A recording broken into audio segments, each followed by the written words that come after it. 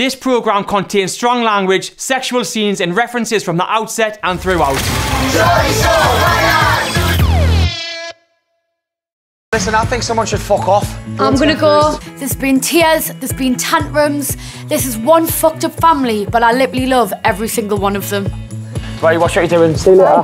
Bye bye. Me and Aaron have gotten through this whole time and not had one argument. That's never happened before. It's an achievement. I'm gonna get off next. It wouldn't be a goodbye unless the food was all over the walls, all over the floor, and kebab meat on the sofa. Exactly how I like it. See ya! Bye! It's been a pleasure, you know. Come on then, get your stuff and we'll all say bye, yeah? I can't believe the people that I've met. I can now call them family. It's been amazing. Nathan, I've got a little surprise for us both. What? I've planned for me Nana to come pick us up. Hello! the house party, I think me Nana has left a lasting impression on the family. You were funny at the house party, you know, you were drunk. I don't hear about it.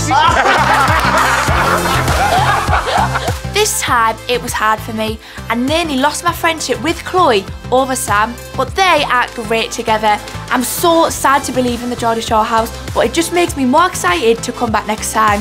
We've had our ups and downs this time. Your chin does, but listen, I'm leaving Chloe and Sam in Aaron's capable hands, and I've never been more happy for that girl than I am right now, and I can't wait to find out what happens next. Bye, guys. Love you. See you later. Fuck off.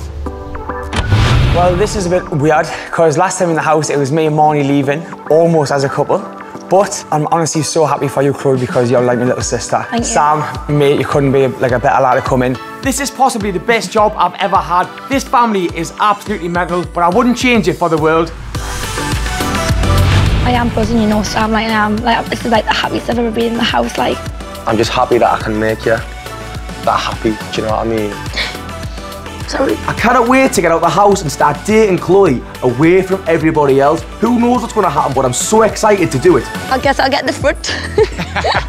I'm leaving this house, nearly in love, with a boyfriend, and I cannot wait to do it all again.